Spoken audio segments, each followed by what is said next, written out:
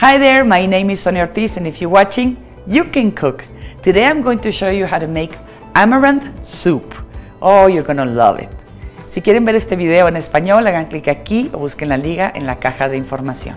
Let me tell you what we're going to need. We need one and a half liters of chicken broth. If you're a vegetarian, you can substitute this for just uh, plain water and it's gonna be very good also. We need one cup of amaranth, which are these like little balls, one um, tablespoon of olive oil, half uh, one quarter onion, one garlic clove, one bay leaf. I'm using two because they're very very small. These ones. Um, one zucchini. We're gonna cube it, and we need also five Roma tomatoes, and salt and pepper to taste. And that's all we need. You'll see. First of all, we boil the Roma tomatoes, onion and garlic in a pot with water for 5 minutes. Process the tomatoes, onion, garlic in the blender.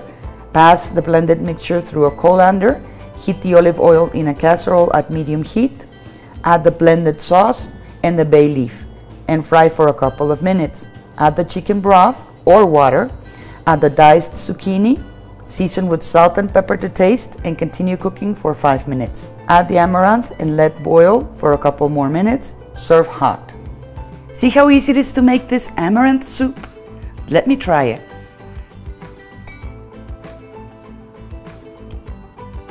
Mmm, really delicious.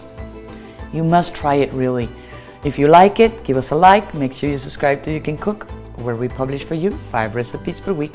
See you next time.